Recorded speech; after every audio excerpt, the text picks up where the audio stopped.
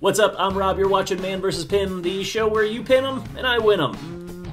Sometimes, sometimes. This week's suggestion comes in from Leilani Allen, who's been all over the comments the past couple weeks with this pin, where you make drinking glasses using your old beer bottles.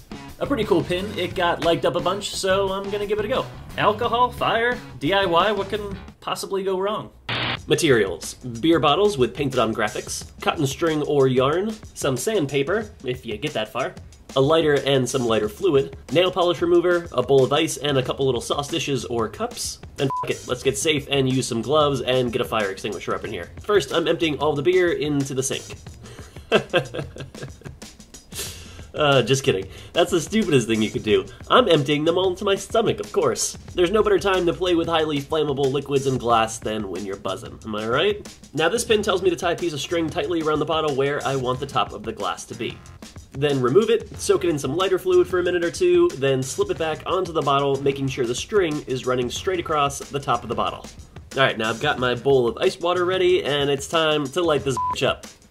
Alright, we've got ourselves some pyrotechnics. Alright, I'm spinning the glass around to make sure all sides are getting the same amount of heat. It says to wait about 10 to 15 seconds until the flame goes out, then pour the ice water on top.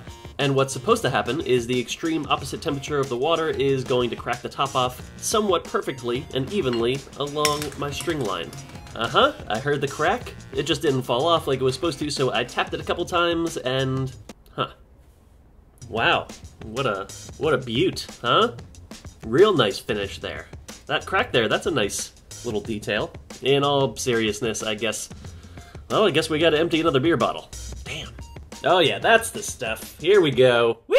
Now for this one, I'm trying something a little bit different because I read another pin that said to use nail polish remover instead of lighter fluid. This time around, I just repeated the same steps all over again, lit her up, and... And absolutely nothing happened. Alright, one more time here. Here we go. Here we go. Nothing. Okay. Alright. Back to the lighter fluid, I guess. Again, I did the whole to-do, added some extra lighter fluid for good measure, and lit that sucker up. Oh wow, that's nice. Huh? Look at that. Spin it around there.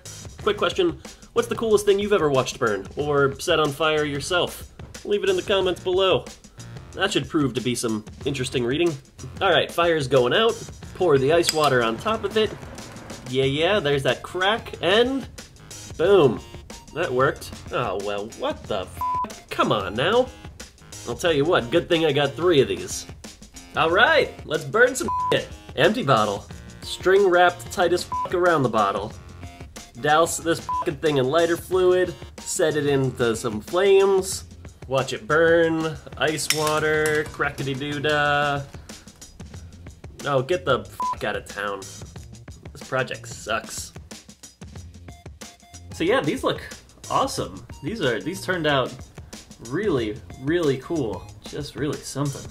I can't wait to bring these out the next dinner party. These are gonna be the talk of the talk of the town. Cheers. And hey, remember, if you have any pins that you want me to test out right here on the show, leave them in the comments below, and I'll check them out. Until next time, you no longer have to purchase glasses. You just use the ones you already got. It's crazy.